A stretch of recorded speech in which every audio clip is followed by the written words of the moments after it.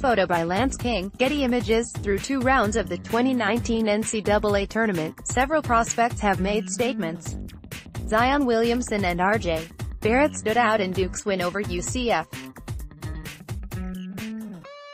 Grant Williams led Tennessee to an overtime victory against Iowa. Ja Morant put up the first triple-double in the tournament since 2012. As the NBA draft picture evolves, so will our big board.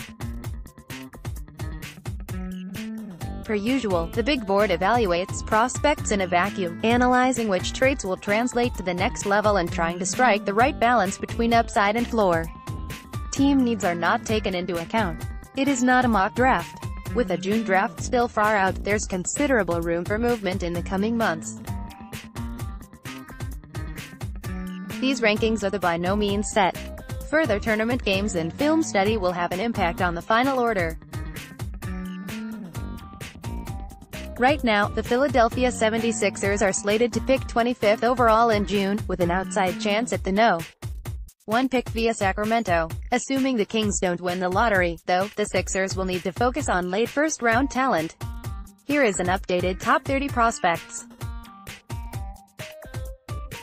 Page 2 Use your arrows to browse. Photo by Seth Akarikan, Anadolu Agency, Getty Images, formerly of Mega Bemax and on loan to Budućnost, Goga Bitadze has put together another strong season in Europe, establishing himself as a first-round prospect.